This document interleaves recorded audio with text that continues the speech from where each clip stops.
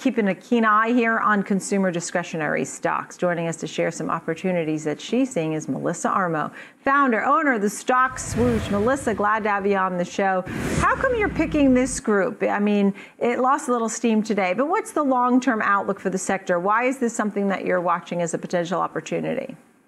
Well, I'm looking at the same things as we discussed the last time, Nicole, the possibility of another shutdown. So, again, I'm looking at the stocks specifically that would benefit from another COVID shutdown. Before I said 50, 50%, I'm going to stick to that, that it's still 50 50 with a shutdown. In the last week and a half, uh, the president has talked about the possibility of more mandates. People are wearing masks. There's more mandates in New York City. You saw Zoom today rally over $25, a huge, massive rally in that stock today. So I think there are going to be stocks that fall.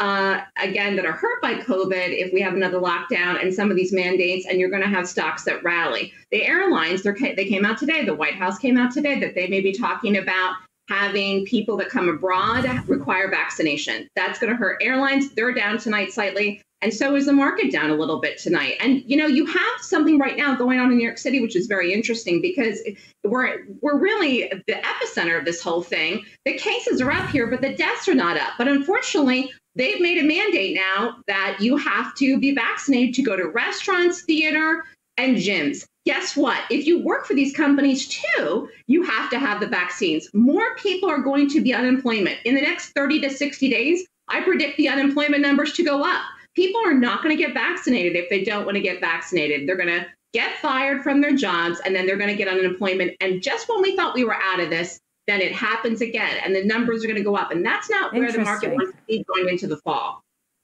So they can use that as the crutch to get more unemployment. That's a very interesting uh, thought. Tell me about some of the names that you are bullish on, such as Peloton and Zoom. You talked about some of the names that have done well while we stay at home, and those fall in there, right?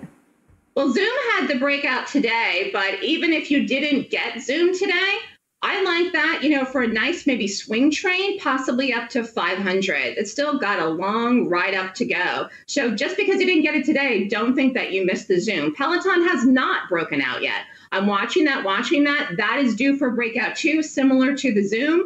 And then I also like some of the names like Home Depot. They've benefited tremendously. People are improving their homes. It's very difficult to get anyone to do work on your home. So guess what? Uh, people are buying things and they're improving their homes themselves and doing their own work because they can't get people to do the work for them. Hmm. Yeah, makes sense. I know you also, when you talk about Home Depot, right?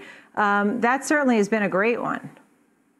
Fantastic. Again, another stock that's been bullish, another stock that's run up, another stock that's close to the highs or almost making new highs again. The market is strong. I'm not saying the market is is going to crash. I'm saying that if we have another lockdown, you will see a big sell off in the market, and no one can anticipate when that's going to be. So you have to stay in things that are strong, that are going to benefit from COVID. And if you want some shorts, I listed a couple shorts too. Before we talked about the cruise lines, I thought they were going to recover. Now it seems like cruise lines, airlines, they're having problem getting fuel for the airlines. They're having problem mm-hmm. getting workers for the airlines. Uh, there was another incident recently. I think it was just the last two days on, an, on, a, on, a, on, a, on a flight it's we're getting to the point where people were just starting to go out and travel for the summer and now the possibility of more cases going up but not only right. that the mask mandates people really don't want to wear the mask so look for shorts in airlines so for shorts in the cruises yeah well, that's what I'm saying. That's why you're bearish on some of these companies Carnival Cruise, Royal Caribbean, American, Delta. Um, is it the whole travel industry that you're having, you know, seeing pressure? Possible? I'm saying the, the whole travel industry, and your previous guest was talking about the casinos. They have had some big sell offs. They've tanked. I mean, if you got those shorts in LVS and you got the short in Wynn ready, I would let it push back a little bit and see where it goes. Wynn was out tonight. It's barely moving up. I mean, it's really a pathetic gap up, to be honest with you. It could even drop tomorrow. And we have some big numbers for the market Thursday and Friday. I think the most important thing for traders to understand right now, all of your people at Ameritrade, is that if you are up in positions, please take profits. This market is volatile. We can't keep going up forever. And with all the looming economic data and the backdrop of what I'm talking about, in reference to the possibility of more unemployment claims coming out, the market could finally have the reaction that some people were expecting earlier in the year. Because remember, we had some bad numbers and then the market would rally. We've continued to make new highs. We're continuing to pass, uh, you know, legislation like this, the stimulus, where we're spending all this money. We, we're in a period of inflation. It's not going to just be everything's fine forever. I don't think the inflation is temporary. I think it is going to continue into 2022 and eventually it's going to hit the market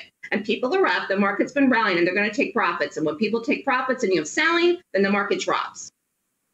Hmm. Well, it all makes sense. It does, and obviously we expect some volatility along with it. Melissa Armo, thank you, founder, owner, the Stock Swoosh. Thank you, Melissa. Thanks for having me.